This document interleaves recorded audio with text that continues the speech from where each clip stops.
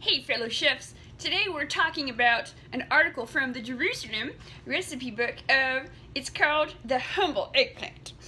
I do like how it's so humbling.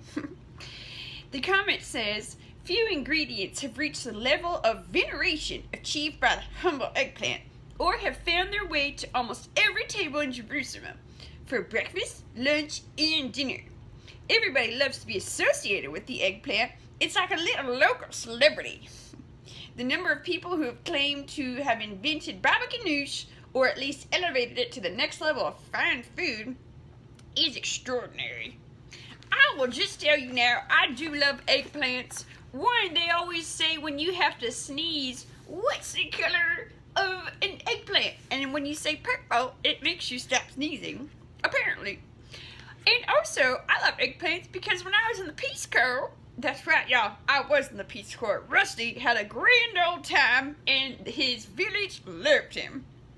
Everybody always brought him eggplants because it's an easy filler, and if you actually can't cook, you really can't mess up eggplant. I'll tell you that. Have fun cooking, y'all. Bye!